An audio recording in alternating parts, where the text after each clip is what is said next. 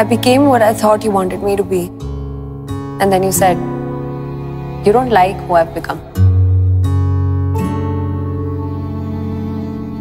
I don't know if a broken heart mends or if it just learns to live in pieces.